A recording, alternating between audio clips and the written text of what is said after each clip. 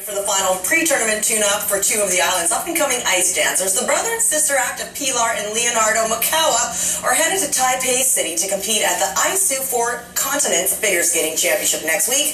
Jordan Cunningham is with the skaters live in Langford. Thank you very much. Uh, tough to top that wrestling story there, but uh, there are actually a few parallels that I thought of between ice dance and wrestling.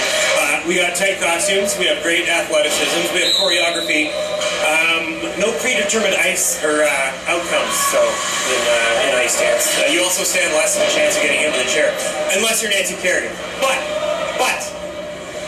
We're talking ice dance, and we're talking about Leo and Pilar Maekawa, and guys, no Sochi uh, for you guys this year. That was the goal maybe a couple of years ago.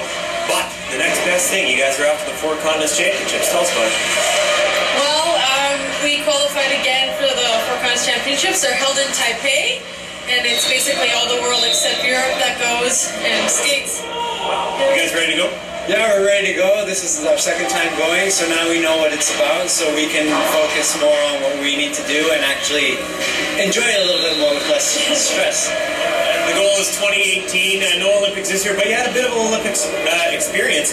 Uh, Moir and Virtue, their coach, actually put your routines together. Yes. yes, she did. We went in May down to Detroit to train with them, with Richard Moyer and Marina Zoueva, their coach, and they got our programs done, and it was an incredible experience just to be in that atmosphere, knowing how they train and being side by side with our idols.